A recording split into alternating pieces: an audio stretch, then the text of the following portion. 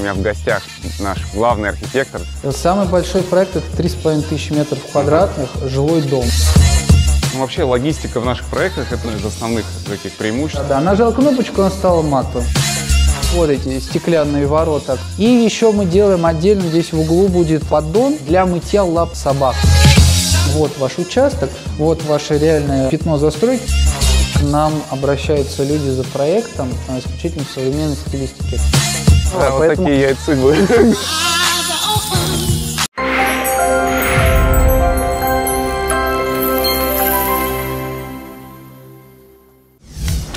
Коллеги, приветствую, это канал VDT, и сегодня у нас четвертый спецвыпуск. Хочу напомнить вам, что, что такое вообще спецвыпуск. Спецвыпуски мы делаем для того, чтобы познакомить вас поближе с э, Vesco Group, с нашей компанией, и с нашей командой. Сегодня у нас речь пойдет об э, частной архитектуре, об индивидуальном проектировании. Сегодня у меня в гостях наш главный архитектор Дмитрий Фимушкин. А, Дим, Добрый ты, день. Да, привет. Ты в таком классном виде. То есть, у меня, в принципе, если говорить об э, таком авторском надзоре архитектора, я себе примерно так это представляю. Э, Скажи, пожалуйста, как э, тебя в таком виде наши клиенты, заказчики э, встречают, реагируют? А, Дело в том, то, что а, это не просто вид какой-то красивый, это именно теплый вид. То есть э, температура сегодня похолодная, несмотря на то, что Алексей без шапки. Вот. Но дело в том, то, что когда мы выходим на объект, мы проходим а, несколько часов на объекте, и ну, просто можно в прямом смысле замерзнуть. Поэтому это нормальный рабочий наряд архитектора Давай на немножко объекте. поясним, почему мы в снегу. На самом деле мы э, находимся на одном из твоих э, проектов, проект Лоренцо, который мы пока еще не освещали. Он имеет потенциал э, буквально через несколько месяцев, когда мы его закончим, стать флагманским после нашего проекта Висконти. Э, пару слов расскажи про проект, мы потом небольшую экскурсию сделаем. Да, все верно. На крыше мы не просто так. Это один из немногочисленных наших объектов с эксплуатируемой крышей. И здесь а, вот эта часть, она а, направлена исключительно на получение видовых характеристик, потому что вот здесь у нас открытый лес, где уже ничего не построится в этом поселке, и а, весь этот дом своими основными видами направлен туда. Дим, слушай, у тебя большой опыт, но как бы всем интересны э, э, байки, и вот в последнее время я все спец- спецвыпуски начинаю именно с таких байк. У меня, к сожалению, байки про архитектуру нет, потому что я сам э, лично себе дом пока еще не построил. Расскажи какую-нибудь свою байку. Приезжаю на объект, раньше заказчик у меня решил встретить его собак. Вот где-то вот такой в холке. И прыгнул, начал меня сверху облизывать. Дим, а это Нормально про, про архитектуру есть что-нибудь? Была у меня история еще до того, как мы начали работать с Веско. Я проектировал частный большой, огромный коттедж, и там э, несущим каркасом дома являлась э, монолитная каркасная часть. И там были здоровенные метровые пилоны. И когда сняли опалубку, э, строители пришли принимать уже конкретно э, пилоны, оказалось то, что высоту этажа по ошибке сделали на 30 сантиметров выше. Проблема в том, то, что заказчик очень строгий, э, крепкий мужик, который за любые какие-то даже небольшие огрехи там э, довольно жестко ругал, карал. Строитель, самый главный, директор фирмы, э, взял на себя эту ответственность и э, доносит, что э, сделали ошибку и залили пилоны на 30 сантиметров выше. И просто в предвкушении того, что кого он там съест, э, все вздохнули. И тут он отвечает, э, посмотрел на всех, отвечает гениальную фразу. Говорит, ну спасибо тебе, зеленая стрелочка. О, спасибо, зеленые стрелочки. Это, это откуда? Цитата из фильма «Золотые яйца». Яйца Вот. судьбы. Яйца судьбы. Но потом оказалось то, что заказчик даже поблагодарил за эту ситуацию, а, тоже посмеявшись над ней, потому что а, он решил а, не просто систему центральной вентиляции сделать, а он решил ее расширить до кондиционирования. Да, вот Поэтому такие яйца судьбы. яйца судьбы, да. Дим, у нас, конечно, будет еще отдельный выпуск, где мы подробную экскурсию проведем по этому проекту, когда мы его закончим. Но сейчас буквально такие основные реперные точки. Расскажи про него. Это проект Лоренцо, большой дом, 600 метров с лишним. Ну, стоит сказать, что он современный. Да, Да, да, это он самое главное его э, отличительная с- черта. в современной стилистике выполнен. У нас здесь воплощена э, связь эко Мгм. улица с домом, то есть э, у нас большой панорамный фасад остекленный, и у нас э, площадь дома вся переливается в площадь участка. А вот здесь вот зону кухни и гостиной будет разделять э, большой умный камин. И еще у нас задумка вот вещать на эту стену, которая будет Да, белой. да, да. Ки- э, Домашний кинотеатр, то есть какой-то проектор. PlayStation будем так сидеть. Да, прям- можно, прям- кстати, прямо из кухни, из, да. да, из дома там, если пониже сделать, играть. Ну, вообще логистика в наших проектах это, наверное, одно из основных таких преимуществ, потому что все, все продумано с точки зрения доступа э, людей, да, Да. там, из гаража, из э, с технической какой-то зоны. Да, да. И у нас э, минимизируется коридор, у нас все Да, да. старается больше в холл. Здесь у нас э, комната отдыха при сауне. Да, и здесь у нас будет интересный камин, то есть он у нас трехсторонний, то есть э, здесь будет огонь, Ну, это даже, наверное, не камин, а печка-камин, да? печка, камин, конечно, в другой стороне находится в сауне полностью, всем своим телом. Там получается один стеклянный экран, здесь получается второй стеклянный экран, а топим мы вообще из отдельного помещения. Ну, то есть здесь будет закрыта дверью, Да. это топочный у нас, да, к ней отдельный вход идет. Да. Здесь И хранятся дрова, Дрова, все. да. То есть у нас углубленная часть э, в сауну э, для дровницы, а там сверху идут палати. Ну, то есть у нас комната отдыха, она будет там, не знаю, с ковровым покрытием какими да, или там, ну, это чистая зона, грубо говоря, то есть здесь никаких Чисто, дров, ничего никаких нет, и дров, мы при этом да. как бы смотрим на горящий огонь. Причем даже если есть персонал, который э, будет ходить топить эти Да, э, они, они дрова. сюда не заходят, они спокойно закинули. Да, и да, да. Они ходят, следят просто за огнем, подбрасывают туда. Давай саму парилку посмотрим. Да, парилка. Парилка а, у нас тоже непростая. Во-первых, а, занятое пространство, как я говорил, под дрова, под палатиями не пропадает. А второе, у нас здесь идет огромный портал стеклянный с видом на участок.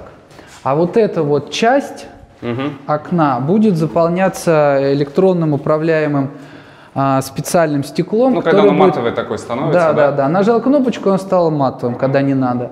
Когда надо, можно посидеть, посмотреть э, туда, потому что там мы планируем высадить, ну, довольно высокую живую изгородь, глухую, да, чтобы не было видно с этого уровня вот окон тех вот домов. Собственно, здесь три спальни у нас, да? Да, одна большая мастер, две детские. Вот. Здесь у нас одна большая спальня угловая с угловым остеклением и видом вот на этот же э, наш волшебный лес. Не, ну можно- здесь, конечно, фишка это вот это вот угловое остекление, Да. да, то есть У нас- стекла просто по, по максимуму, да, все в пол.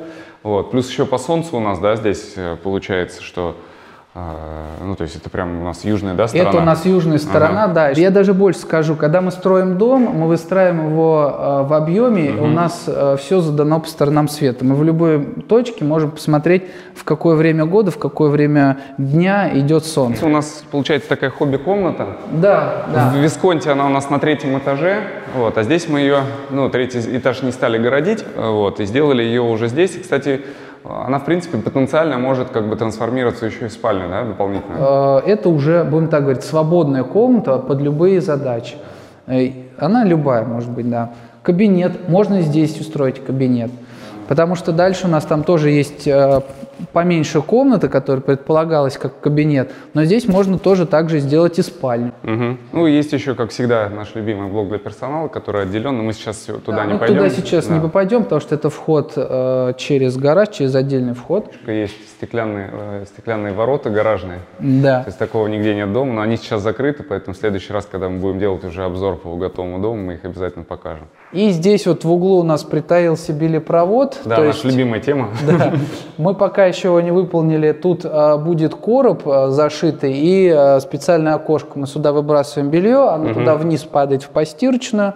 А, в, в- углу там отдельно идет корзина, и все это дело наполняется. То есть не надо бегать с этажа на этаж. Более того, еще, я так понял, у нас будет э, возможность из э, основного санузла Да, главной и спальни, еще да? в а, санузле идет вертикальная отсечка этого же короба, то есть мы там тоже открываем а, окошко и выбрасываем прям из санузла, то есть нижнее белье, полотенце, там все, что нужно, все будет туда Ну уходить. вот в Павлово мы делали выпуск, тоже там как бы говорили о белепроводе, но наглядно нельзя было показать. Здесь, конечно, это, когда это все будет, уже можно прям продемонстрировать. Вместе с камерой кинем. Вот. А в гараж у нас проход здесь а, тоже продуман интересно. То есть у нас есть тамбур входа с улицы, здесь есть гардероб, и вот это получается проходная зона и в гараж же. Вот. Сейчас пока здесь еще вот в таком строительном виде, вот эти стеклянные ворота, о которых шла ранее речь. Вот. И какие еще фишки? Делаем еще такие вещи, как вот выводы под раковину. То есть Ну да, прийти это можно всегда руки помыть. Да. И еще мы делаем отдельно, здесь в углу будет э, поддон для мытья лап собак. Ну и мы планировали такую же систему э, с аккумуляторными батареями, как у нас в Миллениум парке установлено. Да. Как, как источник уже резервного. э, Да, то есть э, это некоторый элемент автономии. Дим, давай поговорим немножко про твой опыт. А, Вот, э, на самом деле, ты э, ну, не активно пиаришься там в, там, в соцсетях или вообще где-то в инфопространстве как архитектор, при этом, но ты один из самых продуктивных архитекторов. Сколько вот, кстати, у тебя за спиной проектов сделанных? А, Я не считал их, но это уже за далеко за 200. Когда ты начал вообще заниматься и как ты вообще выбрал эту профессию? А, профессию я уже понимал, то, что архитектором буду, это уже в школе. У нас специализация, по которой я выпускался, называлась а, архитектура сельских населенных мест. То есть всем, чем я занимаюсь, это все напрямую а, связано с той а, специальностью, которую я получил в институте. Первый проект, когда ты сделал свой? Первый проект я сделал в 2001 году. Ага. То есть это... Ну, это еще а, в рамках, э, как бы, еще в, в рамках, процессе обучения. В, ра- в рамках процесса обучения, да, потому что, во-первых, я уже интересовался всем этим делом, да, во-вторых, уже, ну, э, с- сами, ну, вот, себе что-то строили, да, там, какую-то баню двухэтажную жилую, да, то есть баню-дом, вот, потом э, просили там друзья, соседи там что-то помочь спроектировать. То есть это еще я помню, а, первая программа была, которую я изучил, вот именно э, какой-то архитектурный 3D Home Architect Deluxe. Какой самый большой проект у тебя был? Самый большой проект это 3,5 тысячи метров квадратных, жилой дом. Дим, ты еще живешь э, сам в частном доме, который ты э, там, Да. сам строил. Насколько тебе это помогает в э, процессе работы? Очень помогает, потому что одно дело проектировать, рисовать, э, общаться с заказчиками, да, там На что-то каком рассказывать. теоретическом уровне, да? Да, на Ага. каком теоретическом уровне. Но вот в 2012 году я построил и перебрался жить за город сам с семьей. И теперь э, уже вот начиная прям с того момента, когда я уже там вот сам это строил для себя, я уже э, много вещей, нюансов э, сам на себе э, протопал, как говорится, да, увидел, понял, как надо жить. Пока ты не проживешь какие-то вещи, да, ты не поймешь, что ты думаешь, вот в проекте они будут хорошо, а по факту в жизни они неудобны. Потому что дьявол всегда в деталях. Да, да, У нас да. даже слоган нашей компании «Недвижимость в деталях», да? Да, да, вот эти детали, которые, в принципе, не просто на опыте проектирования, а на, на опыте именно жилья там, вот, я вкладываю в каждый свой проект, поэтому я могу четко сказать, что вот у меня было э, несколько стадий э, вот в опыте работы, да, вот когда уже в, один, в седьмом году там э, перешел работать э, в Веско, да, тут у меня уже пошла другая совершенно линия, когда мы вот начали застраивать вот эти поселки, а, ну, в основном по Новорижскому шоссе, да, там просто были огромные колоссальные объемы, надо было быстро и много строить этих проектов, вот, а, ну, у нас там был большой штат, вот изначально там по 8 архитекторов у нас сидело, да, как раз уже вот с накопленным опытом и финансами, да, смог построить дом, небольшой, но э, нормальный двухэтажный, то есть гостей тоже принимаем. А Прошло уже 7 лет, э, как бы с момента строительства. Ты бы сейчас что-то по-другому сделал бы там?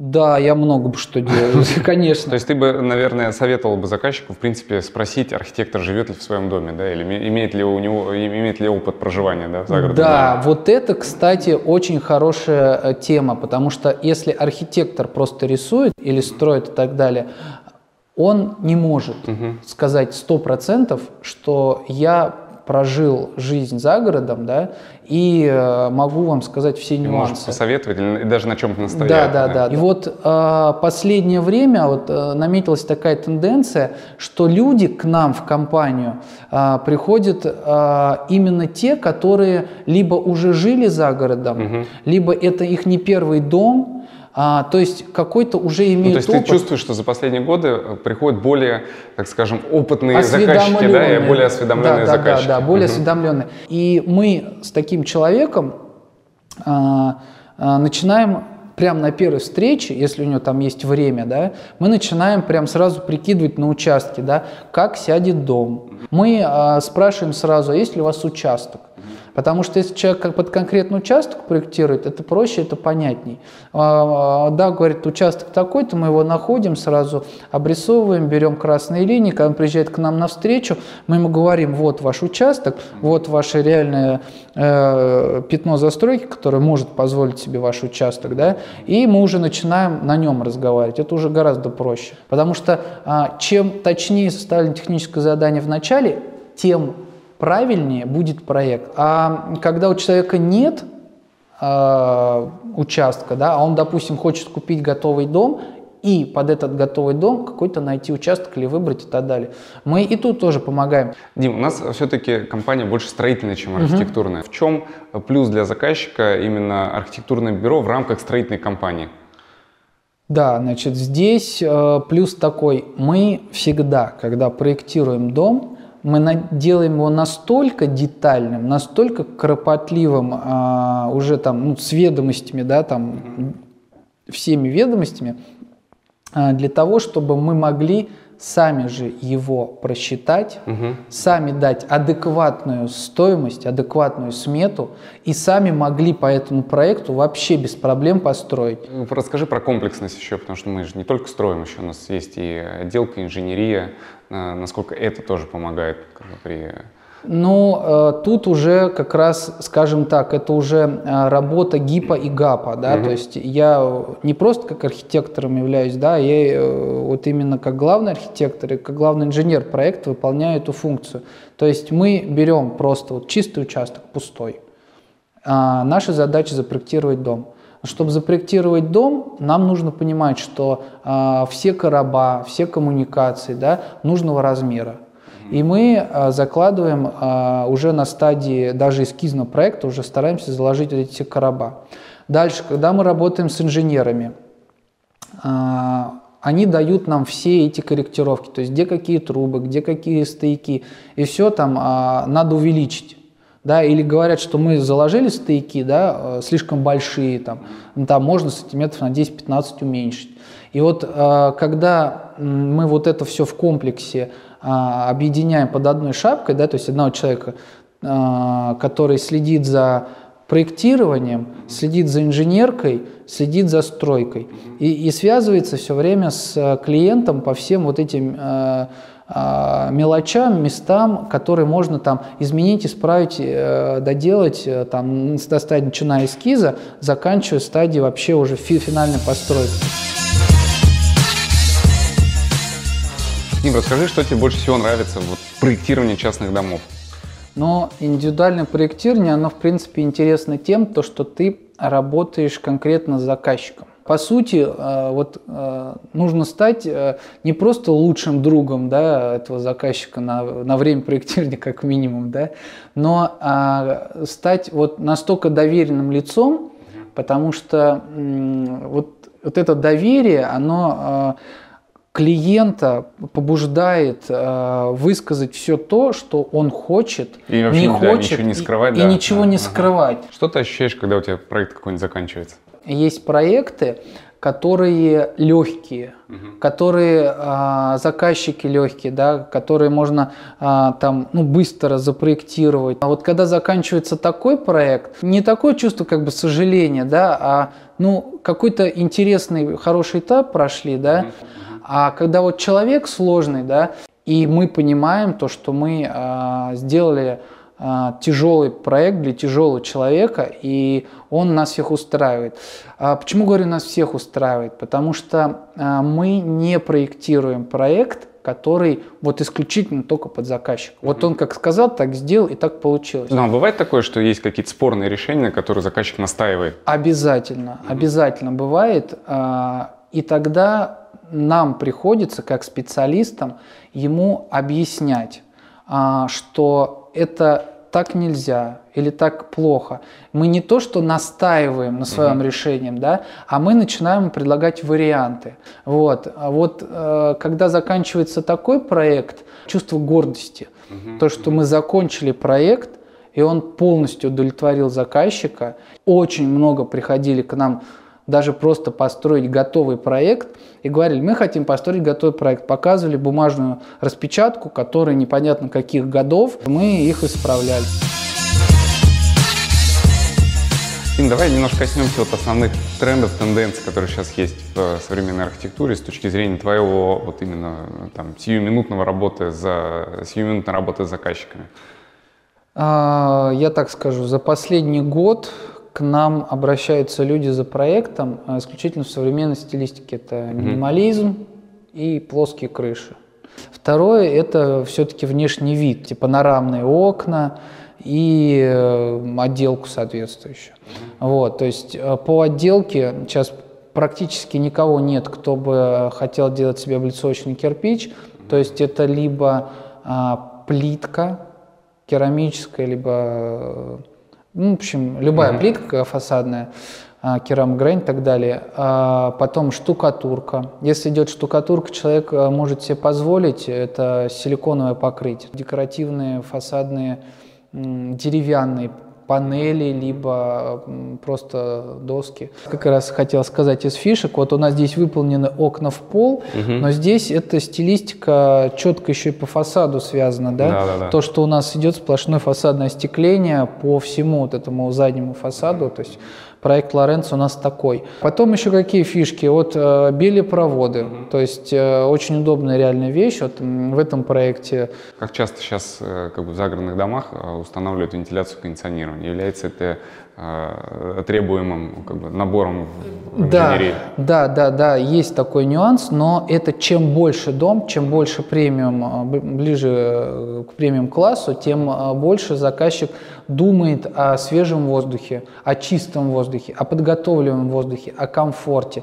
То есть это не просто сплит-система, когда у тебя стоит кондиционер и дует холодным воздухом, а это именно воздух, который циркулирует у тебя в доме, приток и вытяжка. Э, из фишек еще ну, я говорил то, что э, все, кто имеет э, домашних животных, особенно крупных, да, mm-hmm. вот, всем предлагаем сделать э, какую-то помывочную зону, там, либо в котельной, либо в а, гараже, когда есть поддон, чтобы помыть э, лапы. Мы а, уже поняли, что это удобно, когда идет большая такая а, хорошая связь между домом, кладовкой для продуктов, кухней, гаражом, да, а, либо из гаража сразу а, в кладовку для продуктов хорошая такая непродуваемая дверь, чтобы запахи не попадали, либо, допустим, из гаража мы попадаем в тамбур, из тамбура сразу есть кладовка э, для продуктов, вторая дверь, да. Расскажи, какие навыки нужно прокачивать начинающему архитектору, вообще архитектору, который занимается индивидуальным проектированием, проектированием частных домов? А, ну, если мы сейчас говорим а, про навыки именно работы с, да, с да. программами, с компьютерами, тогда тут уже э, идет понятие, что человек как вот э, в жизни видит свои руки, да, также он должен чувствовать а, компьютер, а, также должен чувствовать программы, то есть оптимизация всего рабочего пространства, то есть начиная от папок, структур файла и так далее, когда ты все быстро и удобно, откуда удобно как используешь, да, так и вплоть до работы в, самой, в самих программах, в которых ты а, привык работать там в ТК, Архикат, 3D Max, да, mm-hmm. то есть горячие кнопки, но это бесспорно, то есть когда ты работаешь как пианист, у тебя одна рука. Сколько мышь, ты знаешь там горячих кнопок? Я не считаю горячие кнопки, я считаю э, именно сочетание клавиш, mm-hmm. да, то есть у меня есть клавиатура, у меня вся правая часть клавиатуры, она задействована под э, все рабочие функции, которые мне в первую очередь нужны в программах. И я уже просто дошел до такого уровня, что я не вижу как бы программы, я не вижу э, рук, да, то есть э, я имею какую-то модель в голове, а, дома, да, планировки, еще что-то. И руки, и компьютер — это какой-то просто вот передаточное звено. И, э, ну, совет, конечно, начинающим всем, это разработать э, свою систему работы, угу, либо у угу. кого-то позаимствовать, то есть э, убрать все лишнее. Вот. И дальше уже вот это все передачи своего мозга в компьютер и посредством а, чертежей и объемных моделей, обязательно объемных моделей, передать заказчику, потому что не каждый, э, ну, то есть не, не каждый, а большинство заказчиков, они не могут воспринять э, проект дома чисто в чертежах. Мы сейчас уже вышли на тот уровень э, программного обеспечения, чтобы мы могли а, показывать клиенту а, объемку в виде игрушки. То есть он получает а, файл, по которому он гуляет, смотрит на дом вокруг, внутри, там, снаружи, Ну, в стоит смысле, он условно- сам может это делать? да, Ага. да, да, да, как игрушку. И второй этап это когда уже к нам приезжает клиент, мы ему можем а, устроить 3D виртуальный тур. То есть, грубо говоря, вот у нас есть такие а, девайсы, то есть это вот простая вот коробочка, это я вот на конференции Графисофт выиграл. Вот, а это более продвинутая история. Но они это... в любом случае завязаны на мобильный телефон, да? Да, да, да. Они э, обе э, заключаются в том, то, что вставляешь туда э, мобильный телефон с построенной моделью, загруженной в определенную программу и настроенной под определенный тип очков. Вот. Одеваешь эти очки. Вот. Вот мы запускаем. Так, значит, запустили видео. Так, значит, вот я вижу комнату телевизор, диван. Вот. Ну и так, собственно, по всему э, Ну, то есть остальному можно дому. посмотреть габариты, э, собственно, мебели, да, насколько большие там проходы, насколько будет удобно э, как бы передвигаться. Да. Э, то есть ощущение объема, оно дается через эти очки более понятно, чем через плоский экран, даже на 3D-шках. А, это объем, он э, выстроен в архикаде. А, Ну, понятно, потом импортирован. де- де- Да, да. Детализацию детальную, да, а, мы на стадии проектирования архитектуры мы не делаем. То есть дальше идут э, вставки именно картинки, вот то, что делает дизайнер, там, Да, с да, подбором 3D визуализатор, детальных, да. да, Мгм. с, с- с подбор- с подбором детальных материалов, детальной мебели и так далее. Вот. Но она в любом случае стоит там же. И, ну, помимо работы с частными заказчиками, да, ты еще и работаешь в B2B сегменте, то есть когда приходится разрабатывать целые концепции коттеджных поселков, линейки домов, делать генпланы. А, Как тебе вот этот опыт твой, 200 с лишним проектов ты там сделал, он помогает в построении э, концепции коттеджных поселков? А, тут, да, тут очень хорошо помогает само знание а, именно домов, да, Мгм. то есть расположение, удобство, то есть какой формы будет участок, а, куда нужно сориентировать дома, как развернуть улицы, Мгм. вот, насколько достаточно сделать отступа между домами. А, это все прям ну, четко видно, да, то есть из понятия самого вот этого а, от меньшего к большему, да, Мгм. то есть От частного к домика, общему, да. да, от Ага. частного к общему. А с точки зрения проектирования вот линеек домов, да, какие здесь особенности? А здесь все очень просто. Ты а, должен а, придумать а, общий вид концепции поселка, как он будет выглядеть, то есть, ну, какая стилистика, да? Да. Вот, либо их там несколько будет в разных частях, да, то есть э, какая-то история, типа Мгм. там, а, типа поселок планета, там разбито все по разным а, э, как бы зонам, да, Мгм. и в Где каждой кажется зоне какая-то особенность. да, стилистическая. предполагается какая-то Ага. своя там а, типа географическая привязанность там по всему миру. А дальше что? Дальше ты придумываешь уже, как а, внешне будет выглядеть не только сами дома, да, но Мгм. и окружение. При э, производстве и проектировании линейки домов ты опираешься только на рынок. Как здесь э, угадать э, какие-то общие тенденции? Это реально опыт. Мгм. То есть это опыт. То, что сейчас а, более востребовано. То есть что востребовано с точки зрения а, внешнего вида, Мгм. и с точки зрения наполнения. И дальше еще надо понимать то, что это массовое строительство. То есть, Мгм. если ты запроектировал а, линейку там из э, пяти домов, то они должны быть настолько корпоративно проработаны, чтобы каждый элемент, каждая деталь, каждый конструктивный а, кубик, да, Мгм. он был а, унифицирован и оптимизирован, оптимизирован, под быструю стройку. Дим, спасибо, что выделил время э, в своем таком неплотном рабочем графике, вот, поделился своими э, наблюдениями и сво- своим опытом. Друзья, спасибо, что досмотрели этот выпуск до конца. Это был видеоблог ВДТ. Владейте, двигайтесь, творите. Пока-пока.